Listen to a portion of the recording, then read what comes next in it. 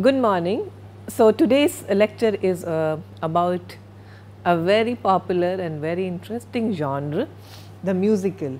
Now, I am going to talk about music for two reasons. One is because uh, music all over the world speaks a universal language, we all know that.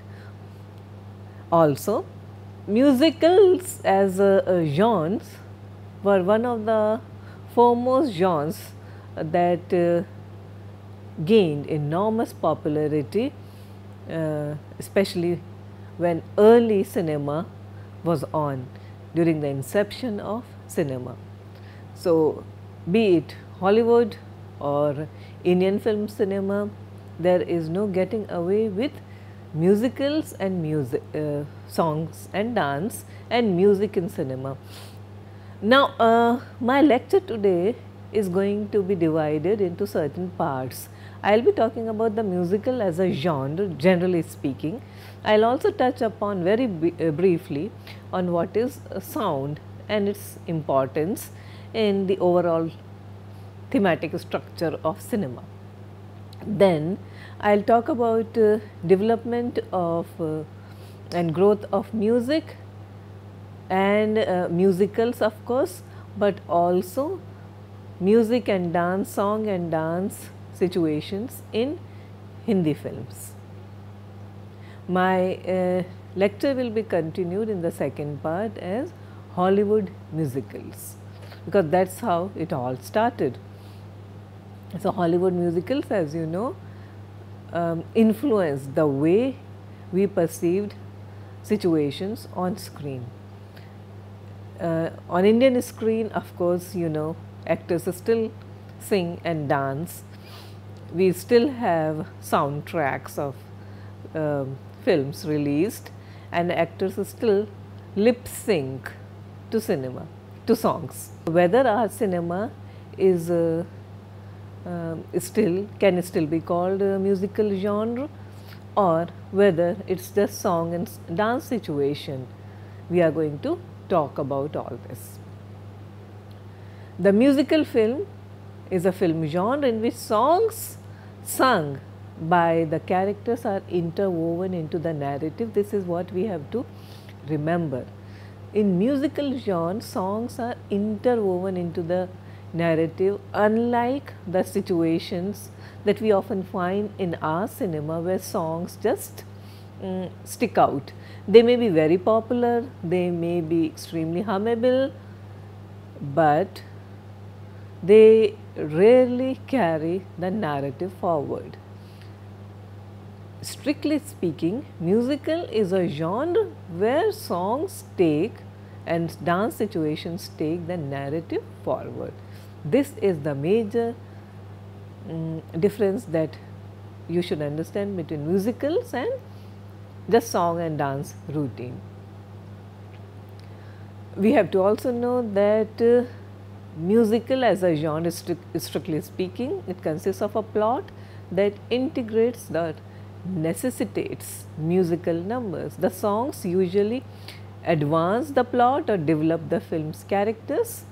Um, sometimes they may also serve to uh, break, to cause a break in the storyline and then that is called production numbers. Although usually considered an American genre or Hollywood genre, musical films from Japan, Italy, France, Great Britain and Germany also have contributed to the development of the type, but of course, these are not as influential or as well known as the great Hollywood musicals. The first musical was also the first talking picture, the 1927 The Jazz Singer which starred Al Jolson and it introduced the sound era of motion pictures. The Jazz Singers was followed by a series of musicals as it usually happens in the film industry to capitalize on the novelty of sound. One of the few exceptional films of uh, the early period was the Broadway Melody released in 1929, uh, 1929 which also won the Academy Award for the Best Picture. The musical film was a natural development of the stage musical because on Broadway musicals were an established and very popular genre. So, in films musicals were a natural development after the emergence of sound film technology. Typically, the biggest difference between film and stage musicals is the use of lavish background scenery and locations that would be um, not possible or hard to create or recreate on theatre or in a theatre. Musical films generally contain elements uh, which remind us of theatre. Performers often treat their song and dance numbers as if there is a live audience watching. In a sense, the viewers become the diegetic audiences as the performers um, look directly into the camera and perform to it. Music as we know stems from the very basic instincts of human beings and is one of the simplest forms of entertainment. Before cinema, before theatre, there was music in whatever form, in folk form, in other any kind of popular form, but it was there. It was very much part of um, our cultural heritage, universal cultural heritage. Therefore, as an earlier form of entertainment, film was heavily influenced by music. As we know, the early film was characterized by a number of theatrical tropes and once sound was introduced, it was but natural that it had to be a musical. So, therefore, the jazz singer was a musical and a very popular musical at that.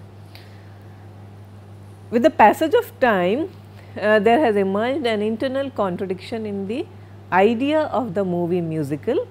Stylistically, movies are made to resemble reality. We have been talking various forms of realistic cinema, the British New Wave, working class cinema. We have been talking about Italian neorealism. We have also talked about um, you know some of the earliest attempts made at realism in India also and in France, in Germany. So, where is the question of people breaking into song, and dance ritual?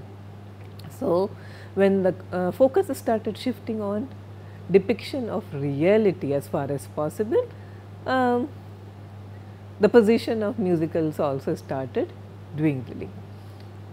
Musicals we know they rarely resemble reality given that they largely depict characters who express themselves through song and dance. So, this is not a very accurate picture of reality. Now, in this situation we will talk about our cinema, Indian cinema largely but Bollywood or Hindi cinema in particular. Uh, I am not mixing Bollywood and Hindi cinema, there are subtle distinctions we will be talking about that also. We know that there is something called middle of the road cinema and also uh, parallel cinema which is not strictly speaking Bollywood. So, let us talk about in two terms Indian cinema which has always been very musical as well as Hindi film cinema. Now, uh, with not as much adherence to realistic portrayal in Hollywood, music achieves a much more acceptable and even our uh, critical role in cre uh, creating archetypes in a Bollywood film. When we talk about archetypes, you have already done plots, you have already done characters, so you know what are archetypes. Now you know that there are certain kinds of archetypes. So, uh, it is usually the heroine that gets to get, sing the songs and also the hero, but rarely a villain. Comedian or a helper may be, but rarely a villain. It's a rare, rare movie where you will find the villains breaking into a song. So, we have to understand that uh, music and dance in our films, they also reinforce the archetypes. So, therefore, um, Hindi cinema remains an exception to the decline of the musical genre. Okay and still uh, in India and in Hindi cinema most of the films that are made they may not be categorized as musicals, but there is an overdose of song and dance situation even today. We are not again, please remember, we are not talking about the middle of the road or the avant-garde experimental cinema or independent cinema. Again, let us consider how the majority of films are produced in the Tamil industry based in Chennai or Telugu industries based in Hyderabad. Uh, they are also musicals and have uh, very generous doses of song and dances. Um, some experts may feel that musicals in Hindi film cinema have inspired a revival of the musical movie genre in the West and we will talk about this when we discuss Hollywood musicals at length. The song and dance sequences have now become uh, the dynamic essence or defining characteristic for Hindi films. I uh, talked about diegesis a few moments ago. So, the use of sound and music in film relates to the concept of diegesis and mimesis. Diegesis is the telling of a story by a narrator as opposed to the enacting of a story through action which is mimesis. The classical distinction between the diegesis and the mimesis, mimetic mode is uh, the difference between um, the epic poetry form and the dramatic form. So, the epic relates to stories by telling them through narration while drama enacts stories through direct showing or enactment or embodiment. In terms of classical poetics, the cinema is an epic form that utilizes dramatic elements. Therefore, this is determined by the technologies of uh, cinematography, camera angles and editing. Even in especially and temporarily continuous scenes, the camera chooses for us where should be looking at or who sh we should be looking at. In a similar way, editing causes us to move from one place to another, uh, whether it is the same space, same room or across time, across um, uh, time or across cities even or across countries. So, editing decides where we should be taken. So, this cut is a form of narration. It is as if a narrator, narrator tells us that meanwhile, you know, we are in the other side or other place of the town or the country. Now, it is for this reason that the story world in cinema is called diegetic. Elements that belong to the film's narrative world are diegetic elements. Thus, we refer to film's diegetic world. Sound in films is diegetic. Okay? It, if it is a part of the narrative realm or the schema of the film. For instance, if a character in the film is playing a guitar or turns on um, a song and dance situation on television, then the resulting sound is diegetic, it belongs to the film. So, uh, this is what we understand by diegetic. On the other hand, if there is a music playing in the background and the characters are not expected to uh, to be a part of it or they are not we are not told that they are also listening to it it is termed as non-diegetic or even extra diegetic so diegetic in other words belongs non-diegetic does not belong in the sense the characters are not aware of that sound so that's the difference between diegetic and non-diegetic. Songs are diegetic.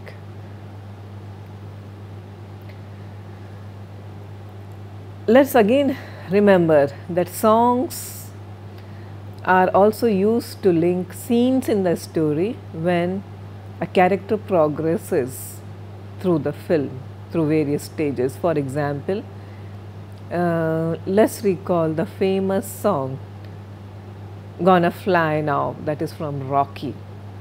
Okay, now this is played non-diegetically as Rocky makes his way through his training regimen. okay, on the top steps of the Philadelphia Museum of Art. So, this is a scene that has remained in our collective consciousness. However, this is an example of a non-diegetic movement. Coming to Hindi film songs and music. So, I am talking about musicals where the um, story moves through songs and dance situations or through music.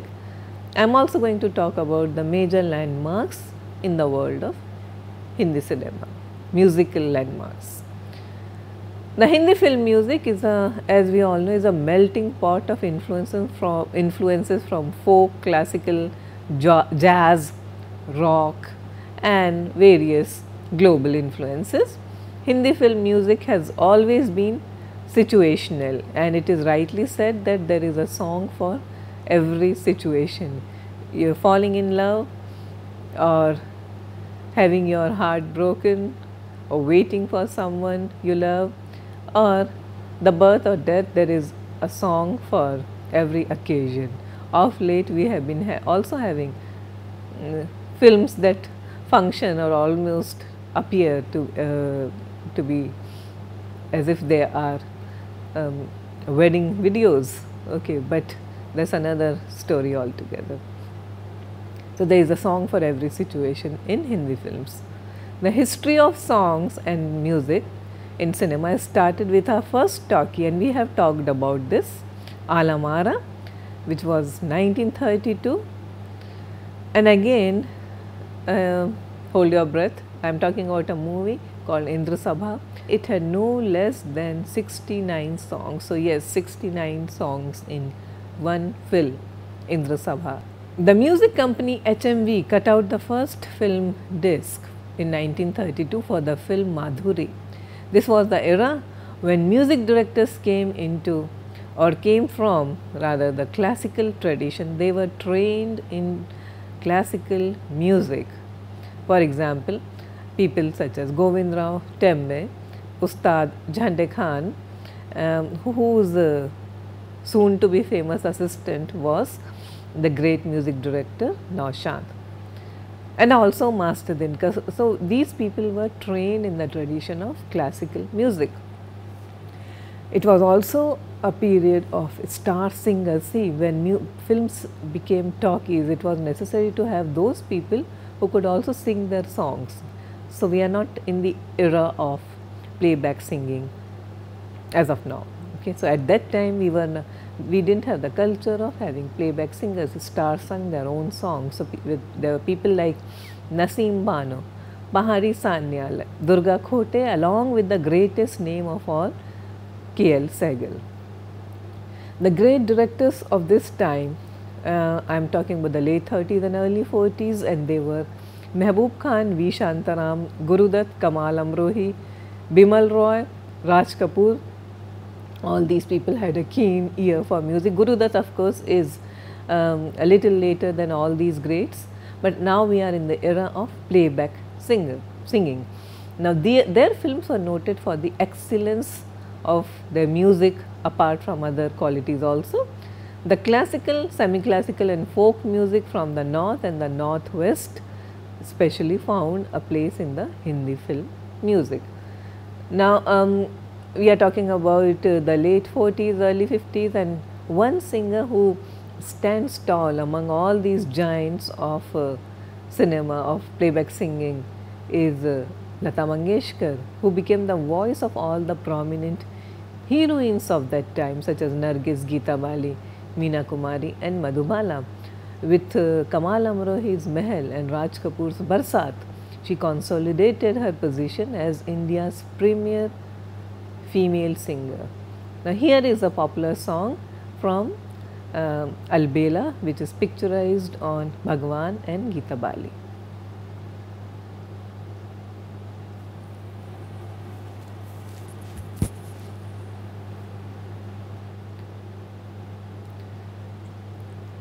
A film that is extremely unique in the history of Hindi cinema, even Indian cinema is Kalpana.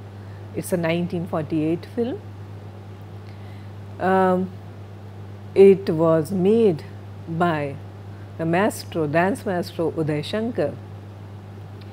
It is a unique and an outstanding attempt to synthesize voice, music, dance and performance in films. It is it functions as a musical metaphor and is noted for the use of lighting and the sets and also uh, the brilliant expressionistic camera work.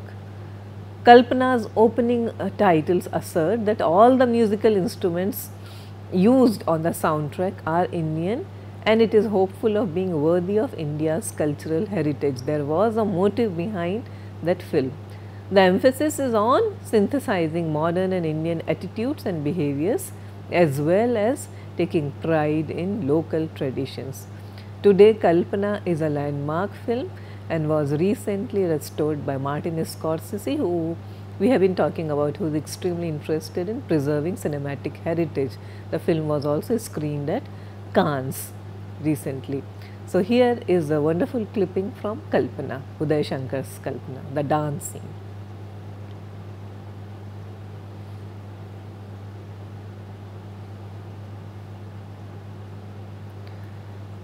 In 1953, Indian government created the Sangeet Natak Akademi where the main objective was to promote theatre arts in India, particularly theatres such as the Marathi Tamasha, um, the Nautanki and the Bengali Jatra. The 50s was a momentous period, you know we are talking about the golden age of Hindi films and it was a period when color was introduced. Some remarkable movies are Mother India, Jhanak Jhanak Payal Baaje and Leader and also Ganga Jamna. We have been talking about these films all along. These films are known for their high production values, performances as well as music. Mehboob Khan's Aan was an all-color romantic drama with Dilip Kumar playing a Hollywood style swashbuckling hero. Okay. So, the music was by Naushad and here is a song from Aan.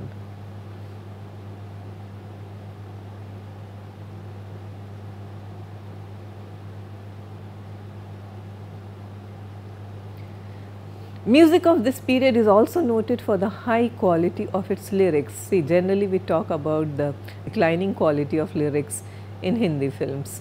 This was not always the case. Once upon a time, the greatest minds collaborated on cinema because cinema was considered um, a high form of art. Okay, we still have certain uh, filmmakers who are making excellent films and not just uh, massy entertainers. Although uh, as cine enthusiasts we should have nothing against massy entertainers also, but if you are talking about, about um, massy and very highbrow then there was a time when the greatest of all poets were uh, penning Hindi film lyrics as well. So, one such great was the poet Sahir Ludhianvi who wrote some of the most memorable songs for Guru Dutt, especially for his film Pyasa, which was 1957 film. And then we had other renowned lyricists such as uh, Kaifi Azmi, Shailendra and also Shakil Badauni, Majrooh Sultanpuri who all did excellent work at that time.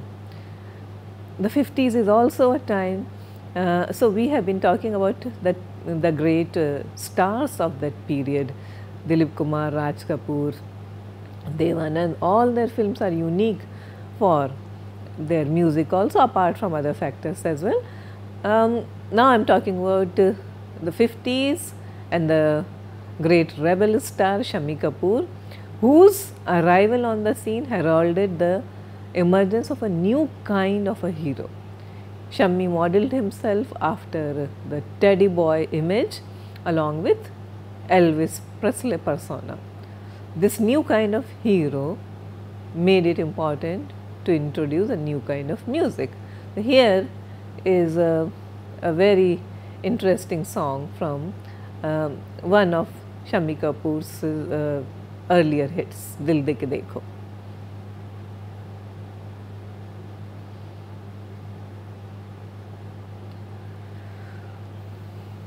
The great composers of his time, uh, we were talking about Naushad, but then there were also greats like S. D. Burman, O.P. Nayyar and Shankar Jaikishan.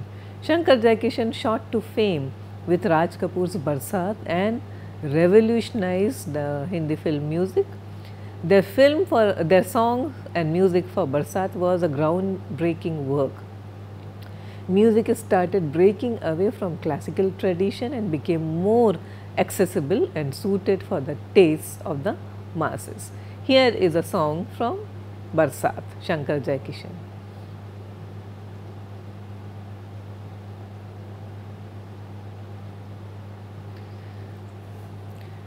The other great of this period was S. D. Burman, whose compositions were often influenced by his huge repertoire of folk tunes from northeast. Uh, he is now mostly re uh, remembered for the compositions he did for Bimal Roy, Devanand and also Guru Dutt. Here is a remarkable song and dance situation from Jewel Thief. Jewel Thief directed by Vijay Anand and starring Vaijayanti Mala and Devanand and music by S. D. Burman. Watch this brilliant uh, scene, a brilliant sequence and see how performance, dance, music, rhythm, choreography and sets all get synthesized into something so wonderful.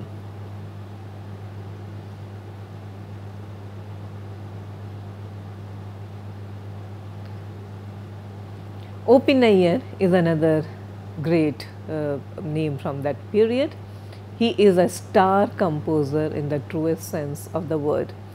He is often called the rhythm king of Hindi cinema. So, before R. D. Burman, there was O.P. Nayyar. O.P. Nayyar regularly teamed up with Rafi, Shamshad Begum and Asha Bhosle and successfully composed for actors such as Devanand, Guru Dutt, Shammi Kapoor, Joy Mukherjee and Biswajit. He is remembered for his um, folksy songs although he did uh, try his hand with classical uh, um, music as well, but that's that was not too frequent although he did everything most brilliantly. So, here is a song from Mere Sanam 1965 movie.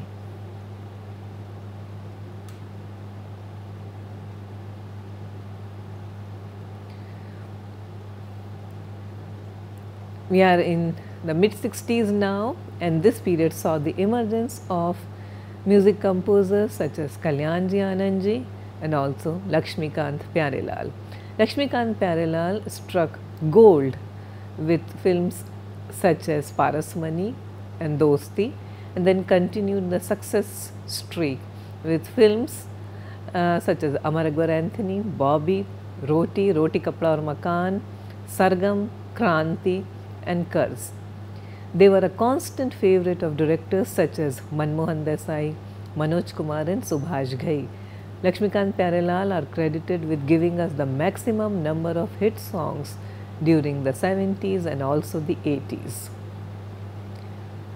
And then I come to one of the most beloved and popular music director of all times, the great R.D. Burman.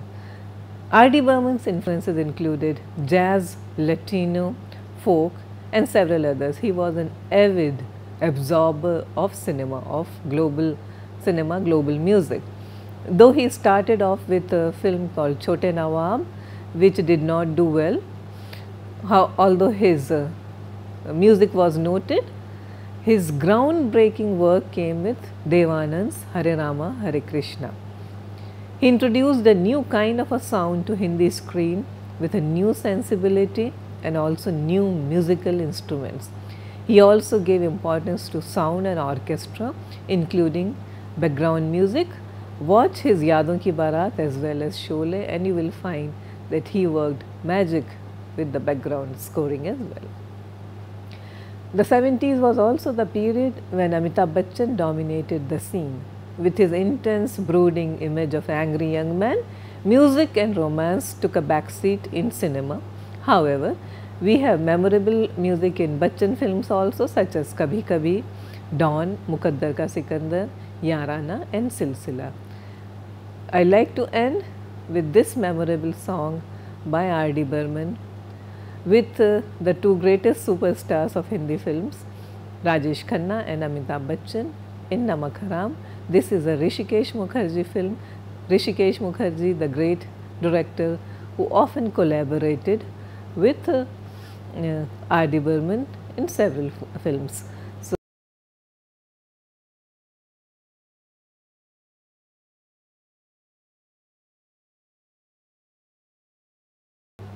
thank you very much. We will continue with our um, next class on Hollywood musicals.